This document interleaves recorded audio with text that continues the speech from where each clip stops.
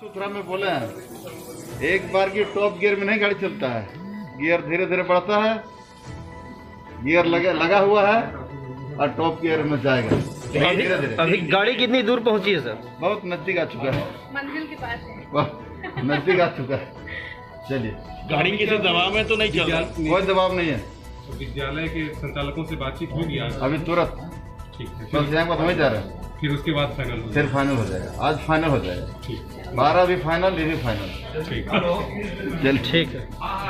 आप लोग का न्यूज़ खत्म करिएगा।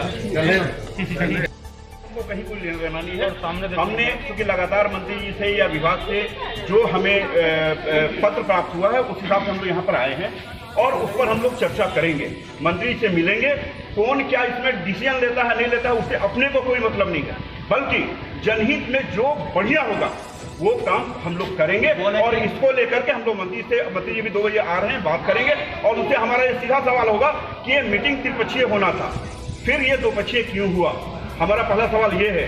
दूसरी चीज़ कि हम लोगों ने पहले भी कहा है कि लॉकडाउन अवधि की पूरी फ़ीस माफ़ होनी चाहिए। है। और अगर इस तरह से कोई निर्णय नहीं होता है तो निश्चित है कि हम कोर्ट की शरण में जाएँगे और कोर्ट में पीआईएल करेंगे। धन्यवाद।